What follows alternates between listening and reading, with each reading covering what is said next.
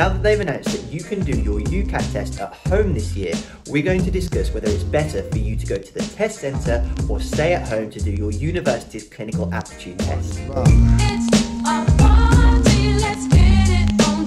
Hi and welcome back to the channel. My name's Dr. Ashley Hilton of FutureDoc.co and I've just come back from my first bit of exercise since breaking my hand. Uh, I went for a jog, which to be honest is actually a little bit naughty because actually if you fell on it, it could be an absolute disaster. But it got to the stage where I was driving myself a little bit mad because I'm not allowed to work and see patients while I have to wear this splint 24 seven.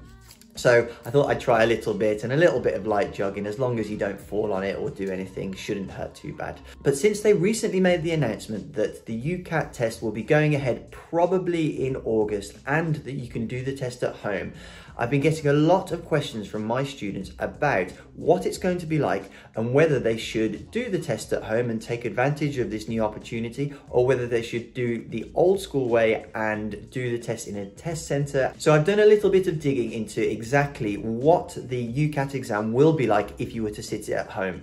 And once we have a better idea of how that's going to look, we'll then go on to discuss whether it's better to do the University Clinical Aptitude test in your own home or do it as they usually do in the test centre. So the way that this exam will be performed at home is that you will have to download an app called OnVUE once you've booked your exam. The week running up to your exam, you have to download the software, open it up, make sure that it works on your computer, and also um, the P Pearson VUE, the company who arranged the UCAT exam, will ask you to perform some system checks as well as a few other checks. These involve things like sending a picture of your workplace so that they can see that you only have one monitor and you don't have any items there that will help you cheat in the exam. The other thing you'll have to do is verify your ID by sending a picture of that. And part of the system checks will also make sure that you've got an adequate internet connection to facilitate the exam. That's because the exam software OnVUE will also be running a, a, recording of you to check that you're not doing anything untoward.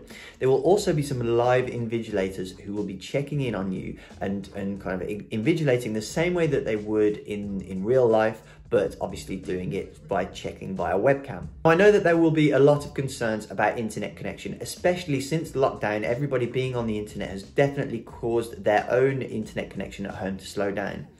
The system check will make sure that you have the right bandwidth for it and you will be able to perform the test without any problems. So when I was researching for this, I did ask them specifically what would happen if the internet connection or the video recording went down whilst you were in the middle of your exam. And what they said is the invigilator would then have to void that particular exam and send a case report to the exam board for them to review. Now, um, and as long as they deem that it's a good reason, which internet connection going down should there should be no reason why that wouldn't be. What they do is then they re review it and then they grant you access to repeat the exam at a later date with no extra charge. Next obvious question is about the timing of the exam. Is it something because it's on the internet that i can do at any time do i still have to book a slot well the answer is you still have to book a date and time and actually turn up at that time at your computer to sit the exam. This is because they have a limited number of invigilators and they have to increase that amount to be able to monitor people over webcam. So you still have to book a, a date and a time slot and be on time for that exam, sat at your computer with the app open, ready to go at the start time of your exam. So obviously you can't just rock up to your exam when you're on a, on a whim, when you feel like you're ready to do it. You have to plan it and book it ahead, which is good because it allows time and uh, a, a goal to prepare for and gives you a revision timeline as well. So because of the limited number of invigilators that are available, it's really important that you make sure that you're alert to when the bookings will go online and book your slot and get in there early so that you get the right slot that you want for you. Now, they should, they say that it's actually going to be a lot easier to find slots online because, because of social distancing, the in-test centres have got probably less than a third of the capacity that they normally have for allowing people to come and sit the test there. They're saying that usually they would have about 10 sittings a day and now they're only going to have about three. And that's purely just because social distancing rules so you can't have as many people in a confined space as normal. This means that booking online will actually be easier than booking for the test centres. But it's the same every year. There's always a lot of demand, so it's always best to get in there early and book the right slot that you want.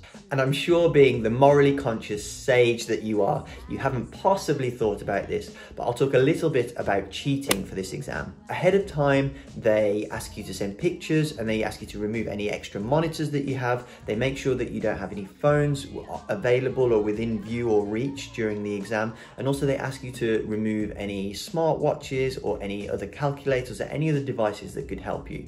The OnVUE app actually won't work if you've got any other applications or windows open on your laptop or desktop when you do the exam. So this means that you won't be able to go to other internet sites or you won't be able to screen record or anything like that while you're doing the exam. If you want to go to the toilet during your exam, you have to let the invigilator know and then you have to turn off your screen while you go to the toilet.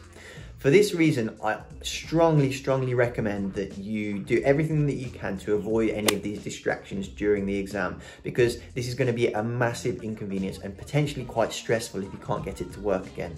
I'm sure there are probably ways around the things that I've just said, but realistically, you shouldn't want to cheat anyway. You should want to do the best that you can for your own sake and actually earn your place rather than cheat your way there. The way that the UCAT exam is anyway wouldn't really lend itself to cheating. It's a contextual bit of text and you're going back and forth between text and answers. It's not memorized answers that you can go and look up on Google. So really the only thing that flicking between screens would serve to do is waste time. It's a contextual exam and you don't need anything other than the information that's already on the screen. So now that we know what the University Clinical Aptitude Test is going to be like when you sit it at home, Let's discuss whether you should do the UCAT in your own home or whether you should still book ahead and go to the test centre. I think the answer to this question is a very personal one. It really depends on what kind of person you are and what you like.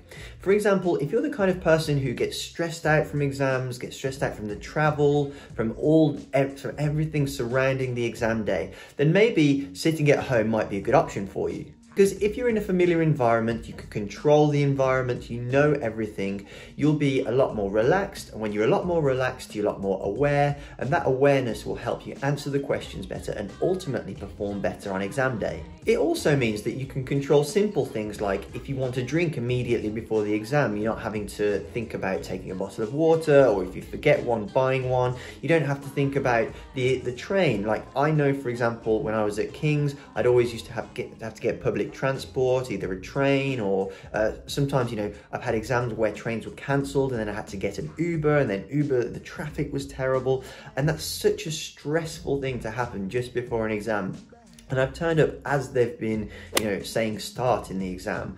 And that puts you in a terrible mindset to start, and I'm sure it's affected my score. So when you're doing this exam at home, you'll be able to know where the toilets are, you'll be able to get a drink, you don't have to worry about travel. So this is a massive thing to kind of getting you in the right mind frame for doing an exam. If you've seen some of my other UCAT training videos, I constantly talk about the importance of replicating the test conditions as much as possible.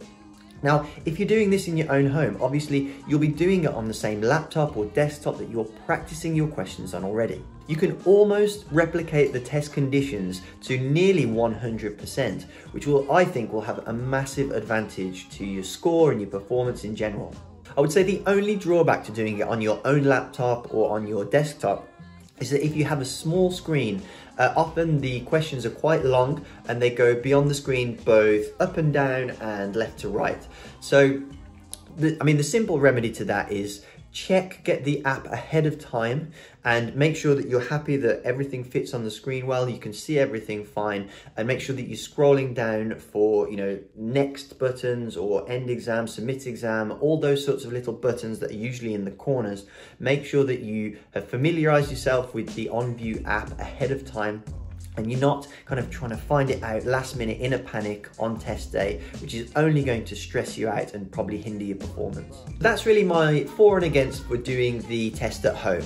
However, I do think there is a case to be made for still doing it in the test centre if you're the kind of person who thrives under pressure, who likes, you know, the big occasion of an exam or a sporting event or whatever it is, and you're the kind of person who will rise to that occasion, then you should definitely still consider doing it in the test centre. If you consider sports people, for example, when someone gets to the FA Cup final and they go to Wembley or they get to the Super Bowl, it's a completely new environment, it's a new stadium that they've probably never been to before, and this makes them rise to the occasion. It kind of tells your brain that it's game time and you really need to step it up a gear. And this can be a way to motivate you and kind of raise your level to perform even better. So it's a case of really working out whether you're the kind of person who needs that comfort and relaxed environment to thrive, or you kind of need that kind of stimulation and high pressure situation so that you step up to the plate and raise your game for exam day. In the same vein, if you're thinking about doing your exam at home, I would take some time to select which room of your house that you want to do it in. Obviously, internet connection here is probably one of the biggest factors and you have to make sure that you have adequate internet connection wherever you are when you do the exam. But in the same way that a new venue will kind of raise your game and alert your brain that it's time to raise its level, being in a different room will kind of although maintain that comfort will tell you that it will, will tell your brain in fact that it's not just a regular practice day. This is actually test day. You're in a new environment and you need to really step up. I think ultimately this decision will come down to availability and deciding personally to you which environment you think you will thrive best in. I've pretty much covered all the information that's available on the web, but if you would like to read it, if you go to the Pearson VUE website, they have written guidance on what the home exam will be like if you want to read further about what we discussed today. I hope that's cleared up your questions and given you a better idea as to where you're going to sit your UCAT exam. As always, if you want some practice questions and some in-depth lessons, go to my website, futuredoc.co. Make sure you subscribe to the channel as well because I release regular videos as to how you can perform really well in the UCAT test. And finally, take care of yourselves, work hard, and thank you for watching my video. Your university's clinical admissions test, aptitude test, aptitude test. Uh, Ah, what am I trying to say here?